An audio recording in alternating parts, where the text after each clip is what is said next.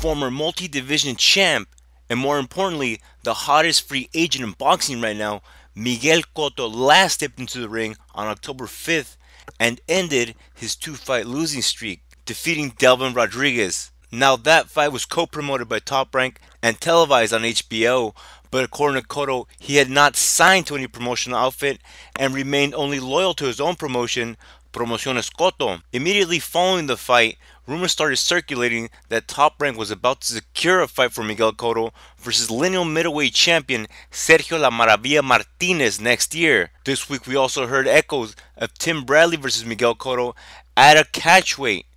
Nothing yet has been confirmed, just names and rumors. What is not a rumor and was made public is that Golden Boy Promotions was set to meet with Miguel Cotto this week, and no, Top Rank nor Top Rank boss Bob Arum were going to be invited to the meeting. Well, the meeting happened today between Golden Boy Promotions and Miguel Cotto.